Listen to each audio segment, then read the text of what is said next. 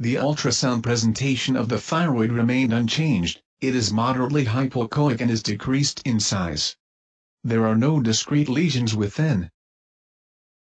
Now, I move upward in the middle of the neck. The hypoechoic, inhomogeneous lesion has significantly increased in size. The bright echogenic spots correspond to protein-rich structures. In contrast with microcalcifications, the distribution of these echogenic granules is uniform.